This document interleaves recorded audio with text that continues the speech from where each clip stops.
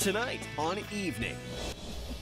An inside look at the Mukilteo factory known as the House of Fire when we come back. Here in the so Northwest, good. we love to stay warm and toasty, do we not? Mm-hmm. Yes, we do, sir. There's a, big- a company that's been making products that help us do just that for 30 years. Yeah, it's called Travis Industries. And our own Jose Cedeno, that guy, just went there and took a look. Welcome to Travis Industries House of Fire. This is where we make four different brands of uh, fireplaces and wood stoves.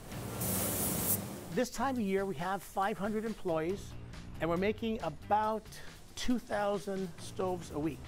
All of us have a relationship with fire. Uh, fire's got a, it's either security or it's a gathering place, it's romantic.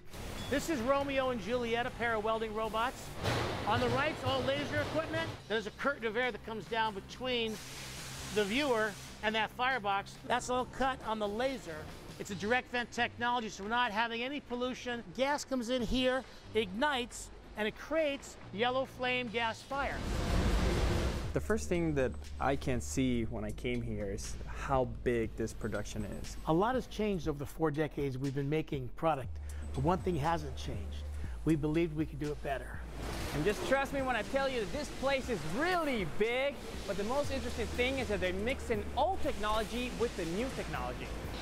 We do very specific patina finishes. When people take the tour here at Travis Industries, they're surprised at the technology. We've got lasers, we've got programmable punch presses.